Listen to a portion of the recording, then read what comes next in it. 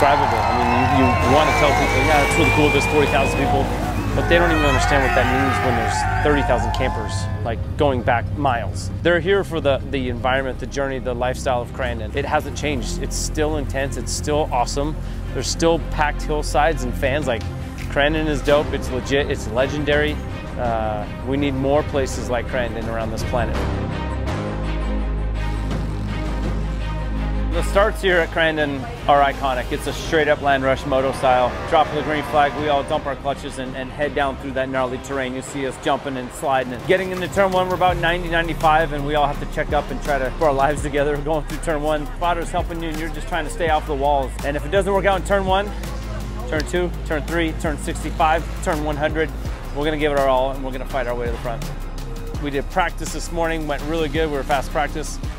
And qualifying, we're sitting second, so not amazing, but still great. And uh, yeah, we're just gearing up for the parade for tomorrow.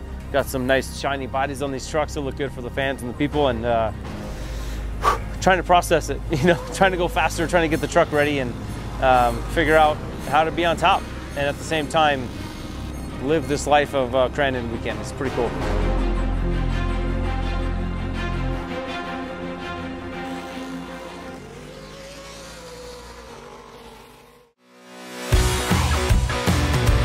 In Crandon right now. We're downtown hanging out with the parade. My kid and the family and all these fans. Dude, it's so insane to, to just see all these diehard loving fans. It's, uh, it's a sick place to be. Thousands and thousands of people touching your truck, taking your posters, getting the signature cards done, and they're, uh, they're loving it. That's what I like about it. These these Crandon fans care because they're just diehard. You know, you got two to three generations out here watching these races, and I'm three generations in also. So, hey, dude, we're here. Insane to look at, to be a part of, and uh, I'm just proud to be here, dude. It's cool.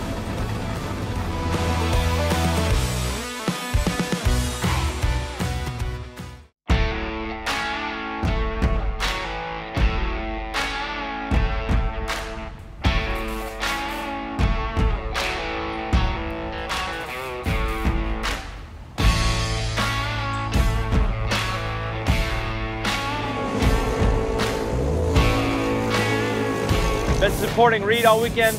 You know, he got a podium yesterday and fifth place today, coming from dead last. So we're pumped for him. He had a great year.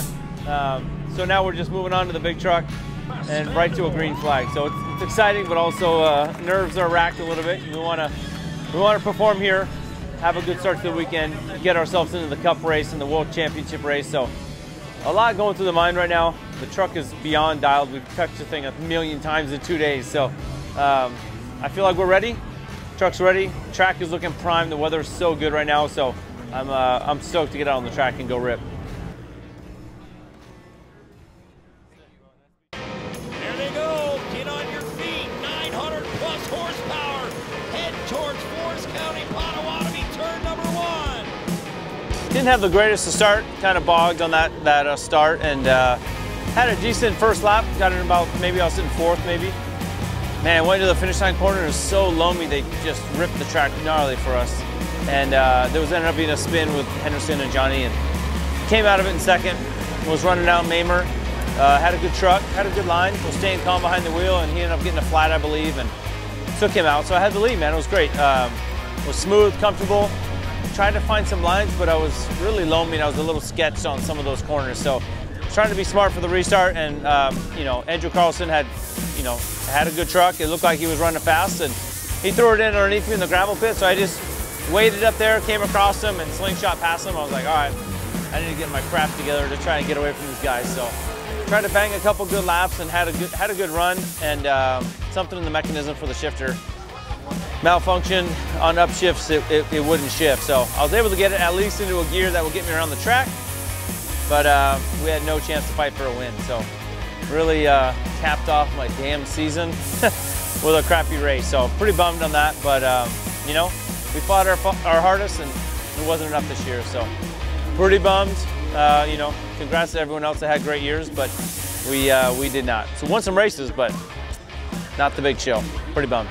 After man, after a devastating race like that, it's tough to uh, keep the team and yourself and everybody up on top of the the hype game. But we're uh, we're fighters, man. We've taken some big blows this year and come right back to another another win. So we've got some cups to win tomorrow. I haven't been a world champion in a while, so I'm ready to do some damage out there, try to bring home a trophy in Pro 4, and uh, a cup race, man. It's been eight years since I've won one, so that's way too damn long. So I need to uh, do a little redemption here and, and get my head down, dig hard. We're gonna run the chrome body for the big show, so I just want to have a good Saturday, Sunday morning race, get out front, go around turn one, nice chrome body, hauling ass, and uh, try to take it to the front, put all those Pro 2s behind me, and try to win some cash. So, all or nothing, dude. Here we go.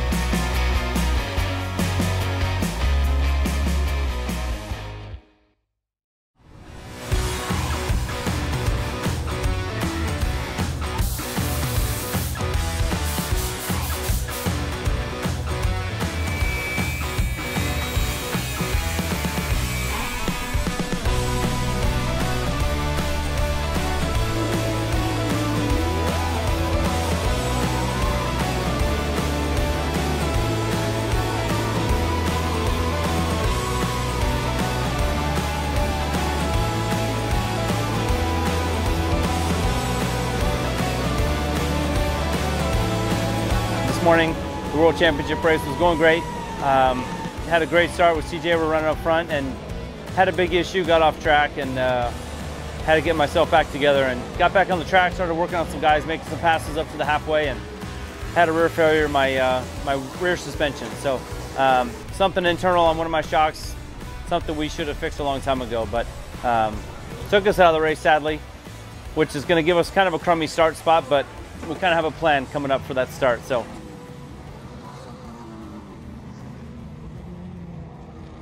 Yeah, the Cup race is something that's been around here for decades. Um, I won it back in 09, I've won it in 14. We've won it a couple times, and what it is is they send the Pro 2s ahead of us, um, and we basically have to chase them down. so it's uh, it's definitely definitely a fight within ourselves in the Pro 4 category, but the end goal is to creep up on those Pro 2s. And uh, it gets gnarly, dude, with the, the amount of Pro 2s, some of the slower guys or some of the mid-pack guys that are in their own three, four car battles, we got to try to slide in there and, and that shit gets crazy. So um, I live and breathe for that kind of stuff, and those moments are what uh, what I look forward to in this race. Is just take some risk, throw this car in there where it's not supposed to be, make some great passes, try to keep it smooth, try to keep the wheels inflated, and uh, try to get to the front, man. It's a knockout drag down battle.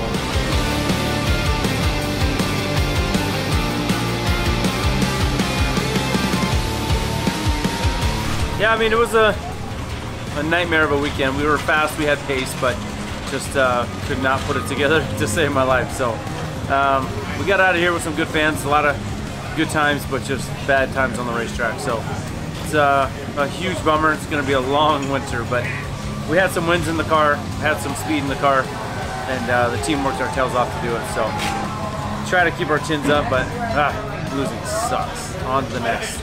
See ya.